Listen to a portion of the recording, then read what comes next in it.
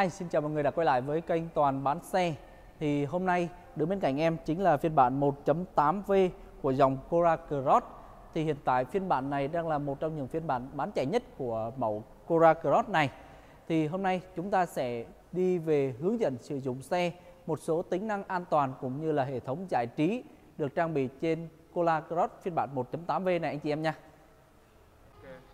Nhiều khách hàng lần đầu khi lấy xe về thì sẽ bị trường hợp là vì sao mà khi mình lốc tất cả các cửa và lốc chìa khóa, nhưng mà gương xe cũng sẽ không có gặp lại, thì anh chị em sẽ kiểm tra cho em phần đầu tiên là ở trong xe của mình. Ở đây nó sẽ có ba nấc, là nấc gập gương tay, gập gương tự động và mở gương.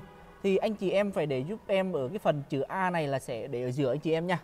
Thì khi mà anh chị em lốc chìa khóa và đóng tất cả các cửa lại, thì gương của mình cũng sẽ tự động gập lại luôn anh chị em nha đó là điều thứ nhất. Rồi tiếp đến, ở bên trong phần chiếc xe của mình, thì hiện tại như dòng Cora Cross phiên bản 1.8V này sẽ được trang bị ghế chỉnh điện 8 hướng, anh chị em nhé. Đó, ngả lưng để tới để lui, anh chị em à rồi, tăng độ cao của ghế này. Đó, lùi xuống. Đó là 8 hướng, anh chị em nha và được trang bị toàn bộ là ghế da.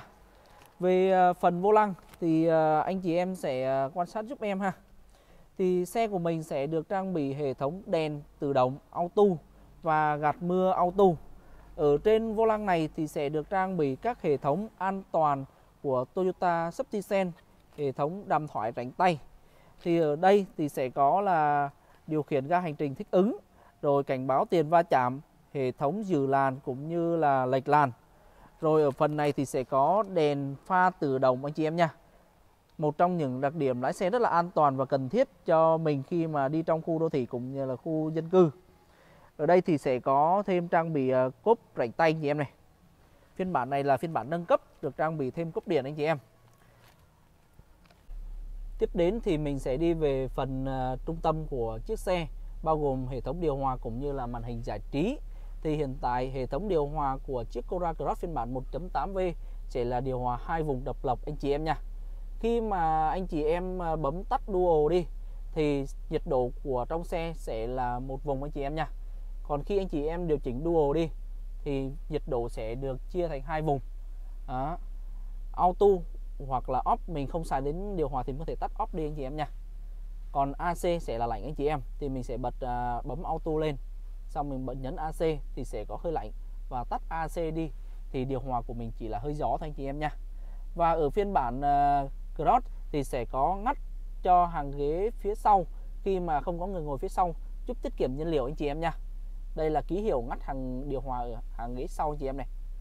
Đó, có cái dấu X ở phía sau anh chị em nha. Rồi, ở điểm nâng cấp của phiên bản 1.8V này thì sẽ có kết nối Apple CarPlay không dây cũng như là Android Auto không dây trên màn hình giải trí mới này. Thì em sẽ kết nối cho anh chị em cùng theo dõi nha hiện tại thì em sẽ kết nối Bluetooth cho chiếc xe này.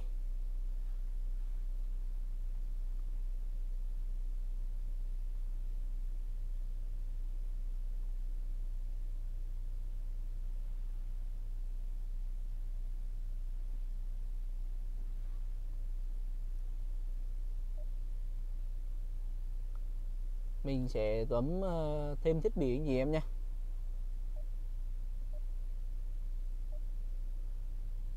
tìm kiếm thiết bị.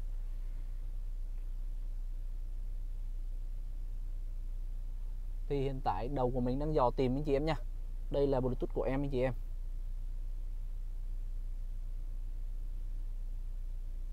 Mình sẽ ghép nối anh chị em ha.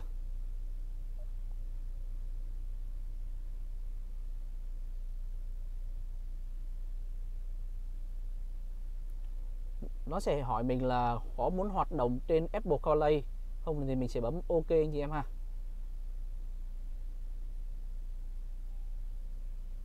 Và ở trên điện thoại thì mình sẽ bấm là sử dụng à, CarPlay anh chị em nha. Và mình có thể bỏ qua. Rồi, xe của mình đã được kết nối Apple CarPlay không dây. Đó là một trong những tính năng nâng cấp mới của màn hình trên phiên bản 1.8V cũng như là các phiên bản Cora Cross khác anh chị em nha. Và sau khi kết nối Apple CarPlay không dây thì anh chị em sẽ có giao diện Apple CarPlay ở trên màn hình à, giải trí cho khách hàng. Thì mình có bản đồ hoặc là có thể nghe nhạc MP3 từ điện thoại của mình được anh chị em nha. Đó nó rất là tiện nghi cho anh chị em nha. Và ngoài ra thì xe phiên bản 1.8V sẽ có thêm cửa sổ trời cho anh chị em và có các chế độ như là mở thôi anh chị em. Đó phần mở thôi và đóng xuống. Hoặc là mình có thể mở hẳn ra anh chị em nha. Tất cả đều là một chạm hết anh chị em. Đó, giúp cho mình ờ, có thể dễ dàng thao tác cũng như là tập trung khi lái xe anh chị em nha. Hiện tại phiên bản Cora Cross 2023 sẽ được trang bị thêm cốp điện rảnh tay cho phiên bản 1.8V và hôm nay em sẽ thị phạm cho anh chị em về cách đá cốp trên phiên bản 1.8V nhé. Đầu tiên mình sẽ à, đưa chân vào và bước ra anh chị em. Thì cốp điện sẽ tự động mở ra và cốp này sẽ chống kẹt anh chị em nha. Đó. Và mình à, thao tác lại và bước ra lại thì cốp điện sẽ tự động à, đóng lại anh chị em nha. Đó là cách thứ nhất và mình có thể đóng mở cốp ở trong phần cabin xe được. Đó là về những điểm nâng cấp ở phiên bản 1.8V cho quý khách hàng. Thì anh chị em nào đang có nhu cầu muốn sở hữu chiếc phiên bản 1.8V này thì hãy liên hệ em Toàn tư vấn bán hàng tại Toyota Đắk Lắk.